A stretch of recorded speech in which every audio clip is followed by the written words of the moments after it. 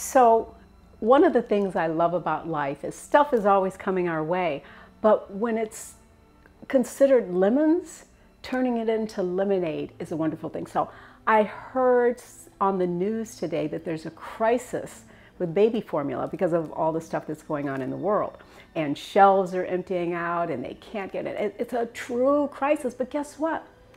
We can grab this opportunity and any moms that we know out there, any people that we know, if, you have a platform for veganism, post it. Let them know that there are wonderful plant-based um, baby formulas that you can make in your own kitchen. There are even a couple on the market, so Google it. Find a way to make these lemons. You're terrified in crisis of no food for your baby. You know, and, and there's a little something to think about here because if your baby is past breastfeeding, guess what? They're not supposed to have any cow's milk anymore, right? They can't, they're not supposed to have any kind of milk necessarily. You could even put some spirulina in your uh, baby's formulas. There's so many ways to start him out perfectly. I remember when I was breastfeeding my kids, the doctor told me, don't give them any food the first five, six months because their internal environment is still developing. So I breastfed for about a year, uh, but for six months before I gave them any food.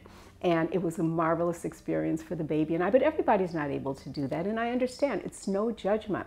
But once they leave your breath, breath your breast, they can go to a plant-based uh, formula. So this is a great time to explore. Put it on your platforms, all you vegan chefs or people, experienced vegans out there. Reach out to all the mommies and give them recipes and give them encouragement because this is a great time to take some control back in your life and your babies. And remember that if you don't take care of your body, the most magnificent machine you'll ever be given, and that baby's, where are you going to live?